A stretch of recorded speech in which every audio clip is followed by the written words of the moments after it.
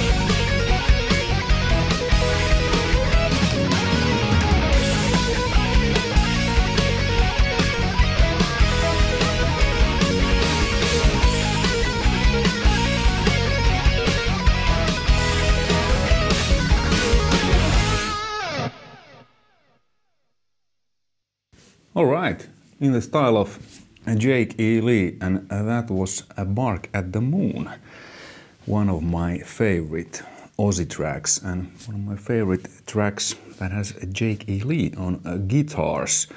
I found it the backing track from internet, and yeah, basically played the guitar on top of that, the rhythm guitar that was behind the solo parts that was included in the backing track.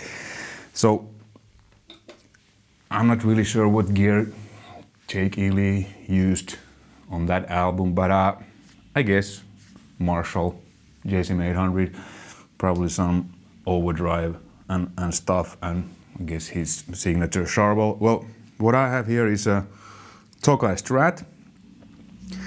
I uh, lowered the middle pickup because it's on, on, the way. Usually I don't play like heavy stuff with this, but uh, for this video I thought that uh, since Lee used kind of like Strat also, so I used this. Duncan passive pickups, can't remember what they are, kind of like low, medium output.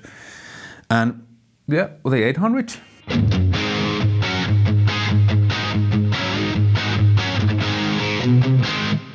Sounds like this, and I have now a little bit stereo delay and reverb and tiny amount of pitch shifting.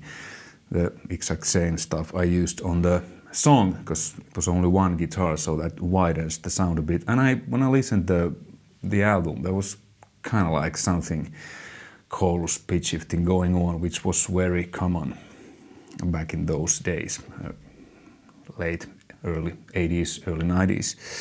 So yeah, okay. And then the overdrive, what I have is a, a JHS Bonsai and OD1 from that. So that's not like a emulation or anything. That's the exact pedal, the exact parts. It has like TS808, TS9, lots of fantastic like Swiss army of overdrives. So OD1 and the picture somewhere, the tone control doesn't work on the on the OD, like it doesn't the original doesn't have. So it's like so with the OD it's like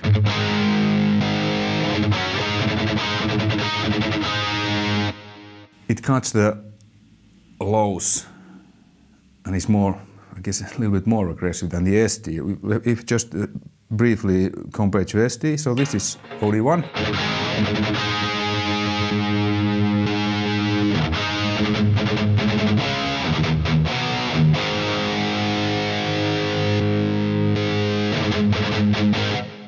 Really like, I guess Jake Ely used that. And then for the solo, I, I boosted that with the, with the EQ, like mid, mid boost and a little bit like volume boost.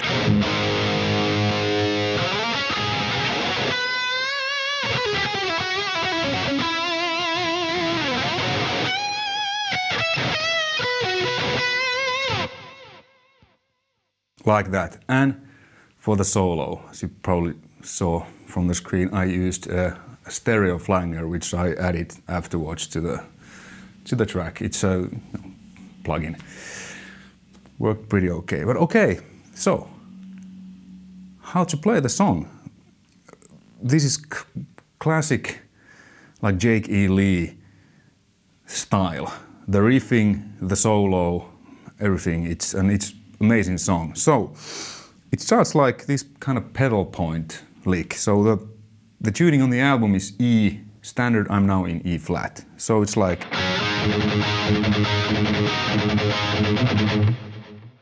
So it's basically G.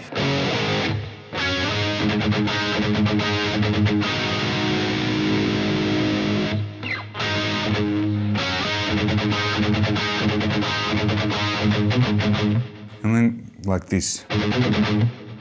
Cool? And then comes this like you can play it like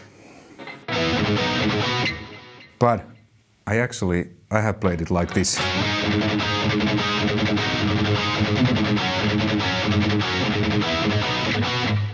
but I found it a video from a YouTube where Jake E. Lee shows how he plays it. So he plays it like this.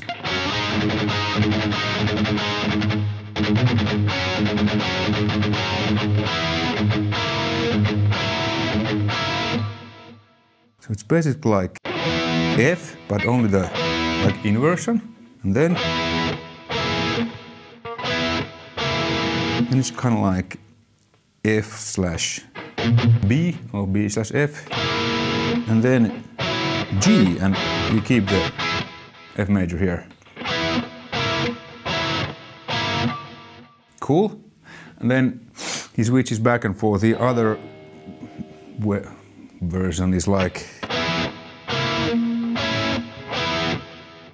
like this. So slowly the both versions.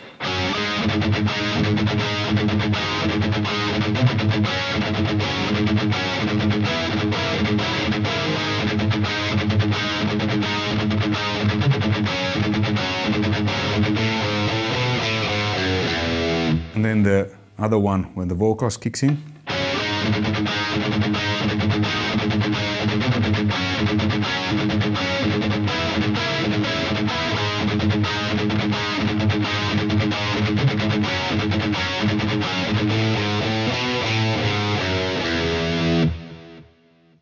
Like that. Really cool riff. So once again, the other is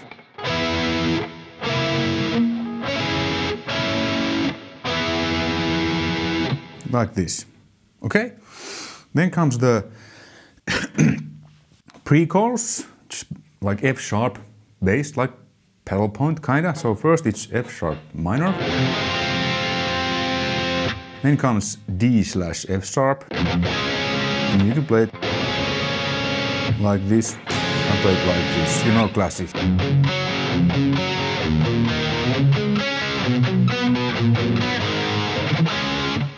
I get the same old. Yeah.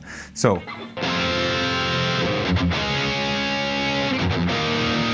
And then E, it's wide chord, but okay, the F, F still there, the F sharp.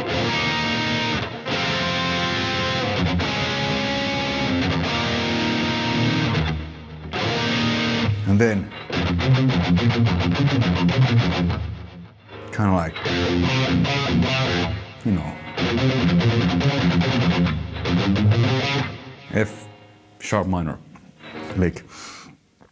And then second time. And then it's the low E, so it kind of relieves that whole thing.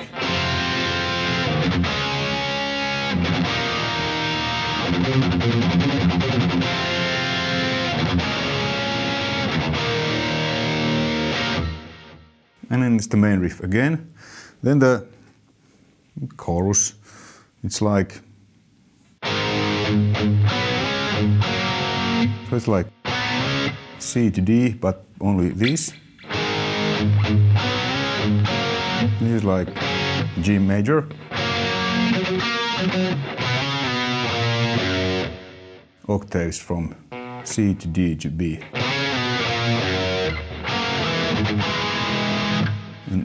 from G major to F major. And then E, like this.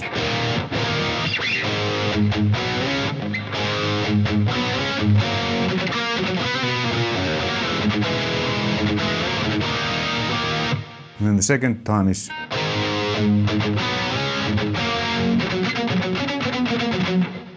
kind of like John Sykes, you know, thing.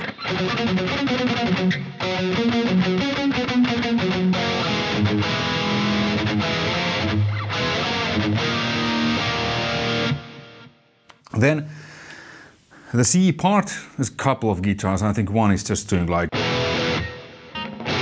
like this, but the kind of main guitar is doing something like this.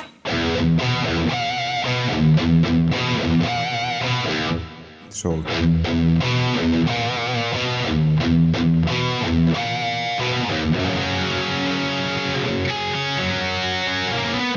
just some G major like arpeggio things.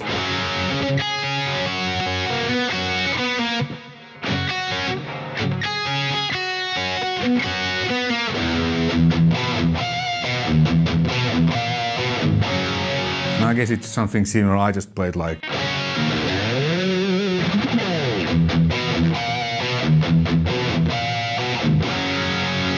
And then comes like.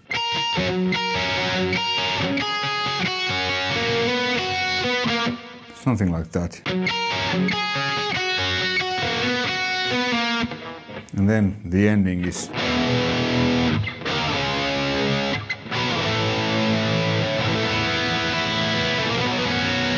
So F, E D, C B B B B flat, and then it's like kind of like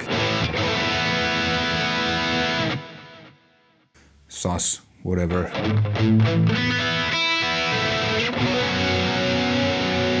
Okay, and then the solo it goes to D. So basically, what he uses is D minor scale, aka Aeolian mode. I played the solo quite similarly. I mean, probably not note for note correct, but you know, in that, you know, kind of close enough. so it starts with the like this.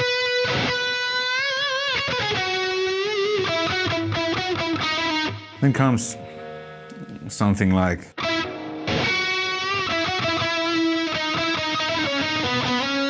like this classic.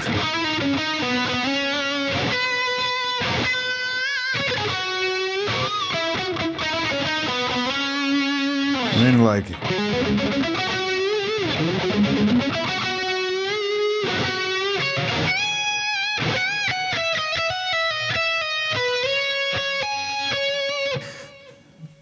something like in, in you know D minor. Like this.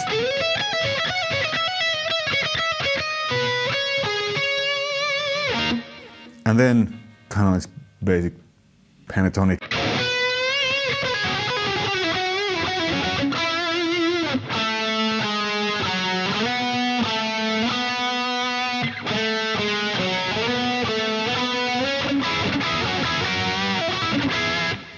double. Then comes this this part that that uh, it's actually quite hard and interesting because it goes like in fours. It's like six times four, like one, two, three, one, two, three, four, one, two, three, four, one, two, three, four, one, two, three, four, one, two, three, four, one, two, three, four, one. At least that's how I think about it. So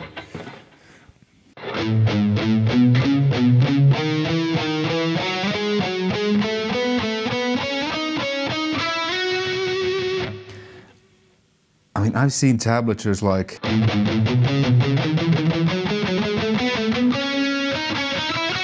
which is absolutely correct. Exactly same notes what I played, but it was a lot of string skipping, so I find that a bit difficult because you know why make things hard if you can make them easier. So I play it like this.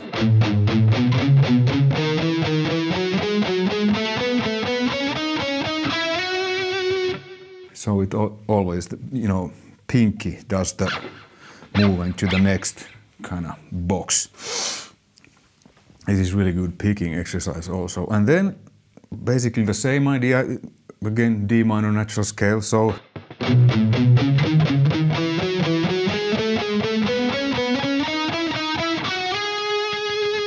here, and then you could play this here, but then you would end up here, and then you'll be in a rush to do the last triad thing. So that's why I start here on the D, like.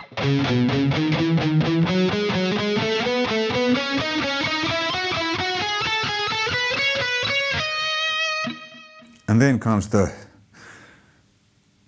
one, two, three, four, one, two, three, one, two, three, one, two, three, one, two, three, one, three. So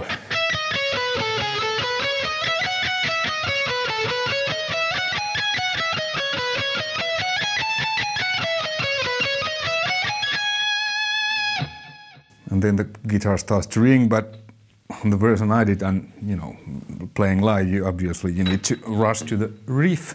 So I, I played played something like. uh,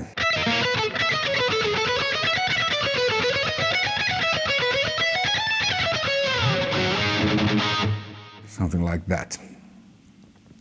So the whole thing again slowly. This is very good a picking exercise for your pinky, and you know you can do like I think I'm not sure if Jake Lee picks everything, but you can kind of do it like like slide and not picking, but slightly palm muting, so it kind of sounds like you're picking. I think I did a couple of occasions on the song like this. I didn't really pay attention what I did, but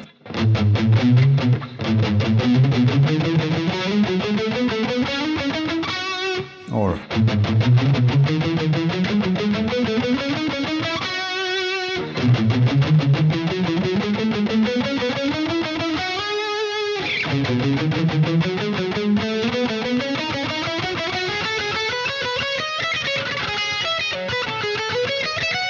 This is hard for me because I usually when I do this my hand is like this but Strat it's like wow do I keep my hand so? Uh, how did I play it on this on this song?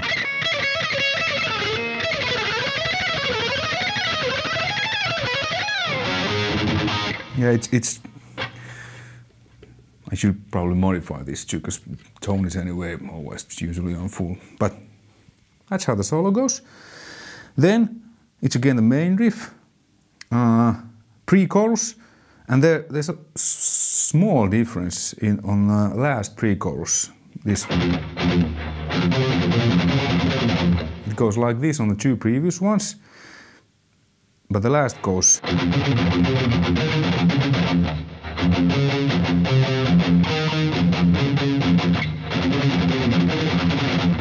Like this. I'm not actually sure if I played it like this on the song. okay, and then chorus or the that's the same except the last.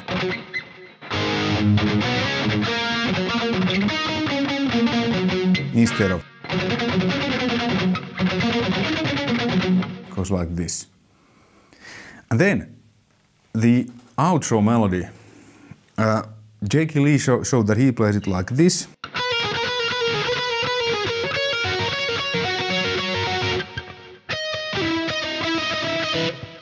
I'm like, why again make things harder? I mean, you could play this, but then this note would be on the wounded string, so it sounds a little bit different. But you can play this with plain strings only, like.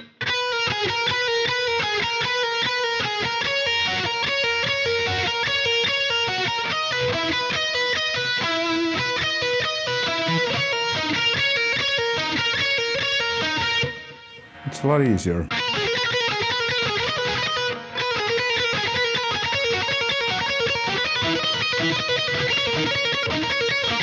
And then what's in the middle there, so it like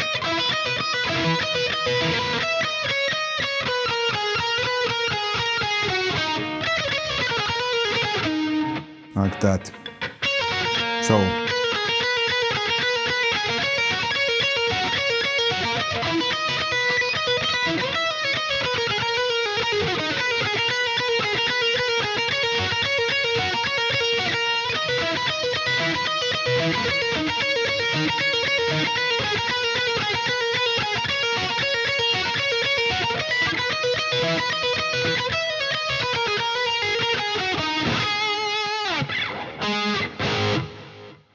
ends with A. So that's how you play a Bark at the Moon. And I chose another song that I'm gonna cover on this one, which is also really good and one of my all-time fa favorites from Ozzy and in general. It's uh, Shot in the Dark. So let's watch that now and then I'll show how to play it.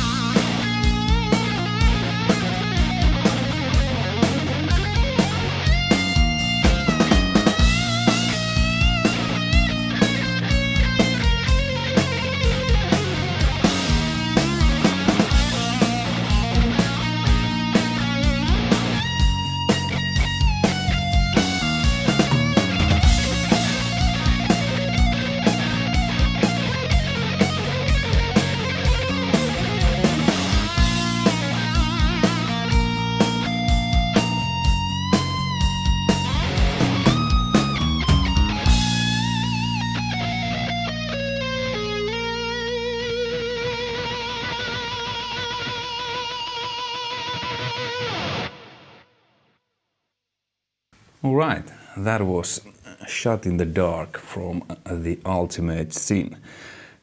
As you heard, a few hiccups, but the vibe was good, so it's okay.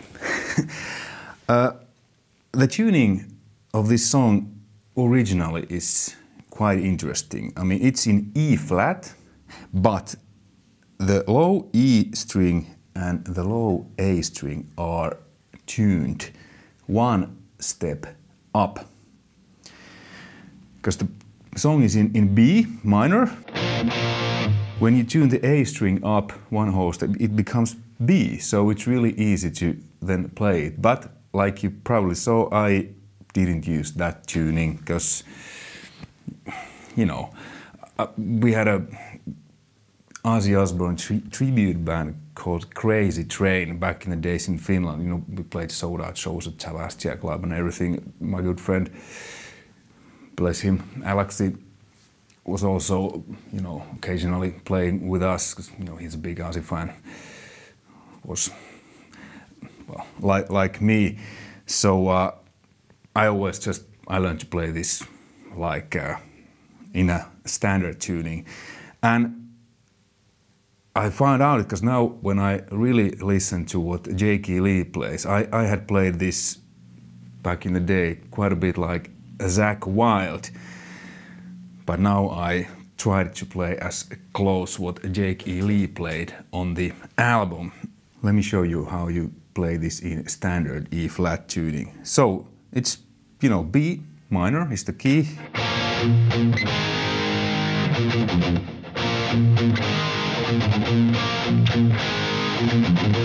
So it's basically like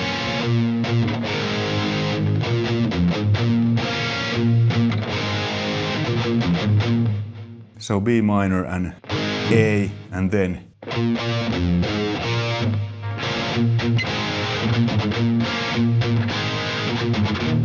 and then this part, I mean, you could play this like without including the B, but you can play.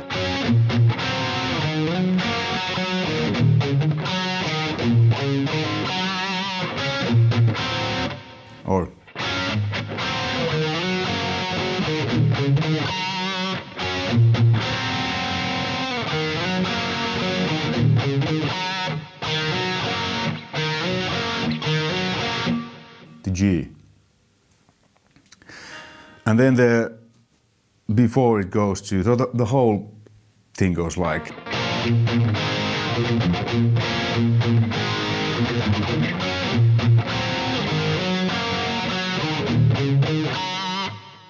And when it goes to the verse there's this you know one whole step bend from E to F sharp. And then well I used the 800s and then I have this G-Lab switcher, which I can program to do many things. So on one button, I program it that it changes to triple super leads clean channel and includes chorus. So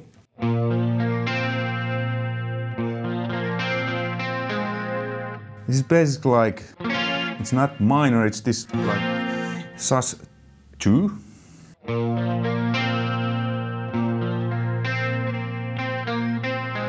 And then you lift your pinky so you play the B.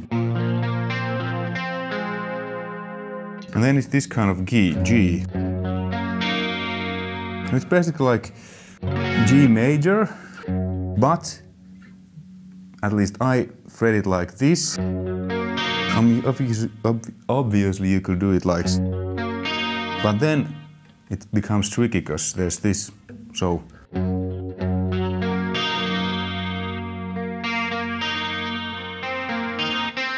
So there's this C.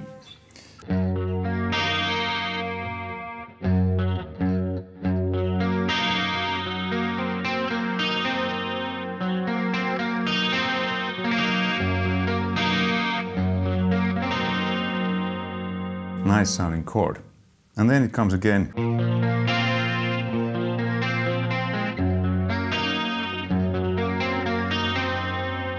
And then comes the pre-chorus again. In this tuning you could play it like, like just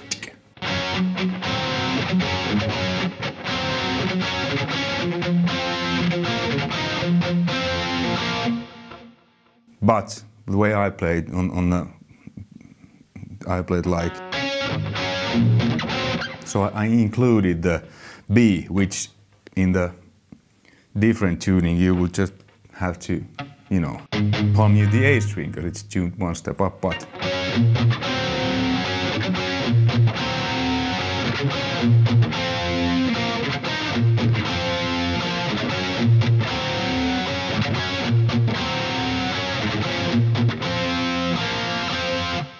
You have to do a little bit more work. Okay, and then the chorus.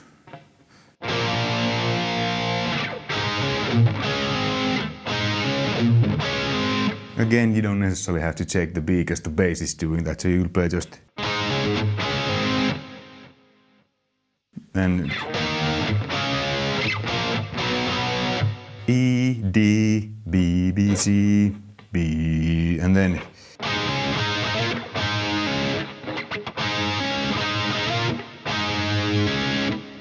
It's basically like an octave higher.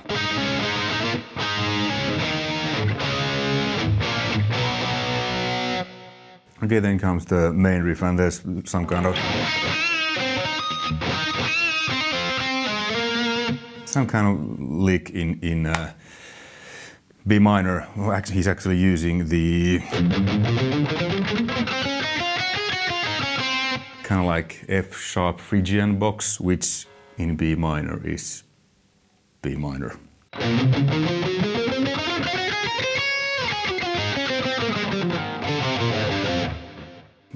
Little theory.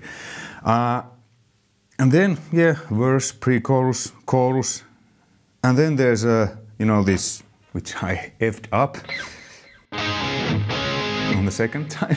I played something, huh? and then, and then comes this.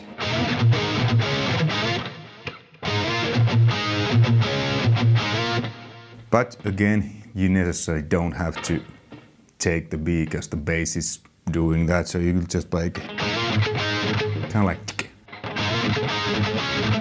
Mä kuvaa.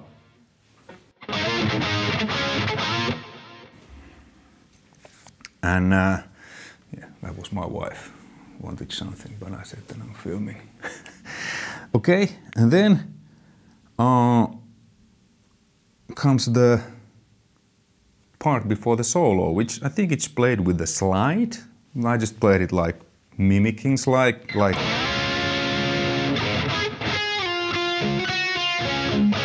It's basically like from C to D, but playing like, you know, triads, like inversions.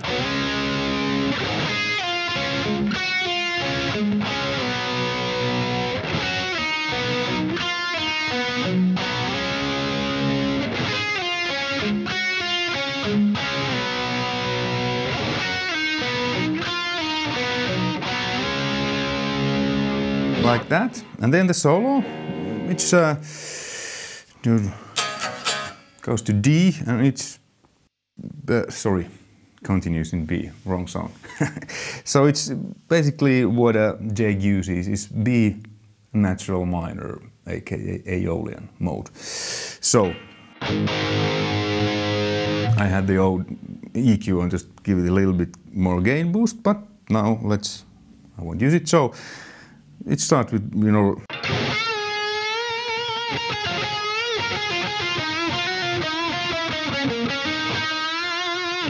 kind of basic. This, I mean, I do these kind of licks all the time. You know, the flat fifth there, you know, from blues scale, devil's note.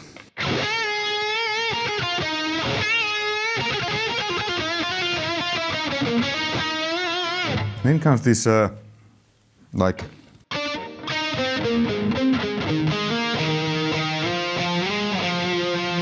it's again same scale, but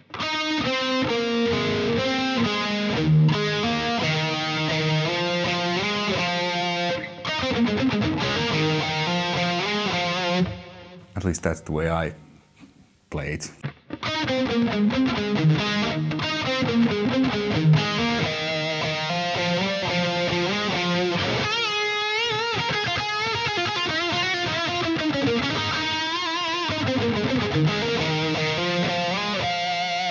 Then again, B minor scale.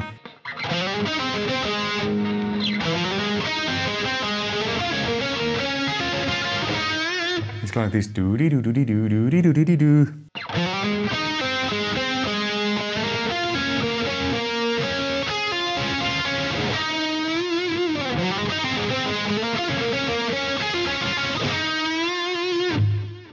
Kind of strange rhythm, like.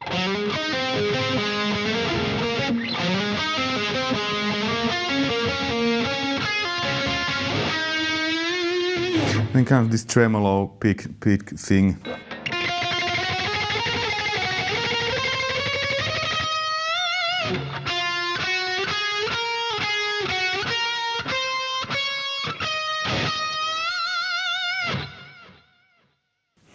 Cool.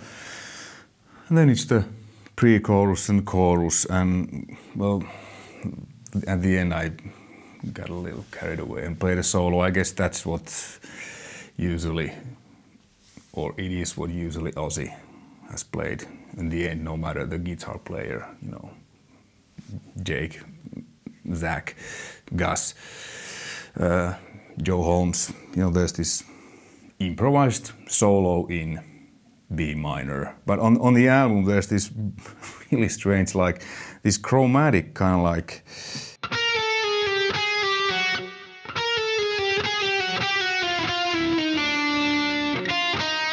Something like, to me, doesn't sound very good, like there at the end. It's, well, interesting, so to say. But yeah, hey, hopefully this in the style of uh, Jake Keeley was informative and, and stuff. So, I mean, Jake Keeley is probably, well, if you could say, the least favorite of Ozzy players. You know, I I'm a huge fan of, of, of Randy and and Zakk, but but Jake Lee definitely has has some great stuff, especially his band he founded after Ozzy called Badlands. They did like two albums. The first is good, but the second, Voodoo Highway, is awesome. That is my like one of my all-time favorite albums, and on that album I really like. Actually, I like more Jake E. Lee's playing than what I what he what I like what he did with Ozzy.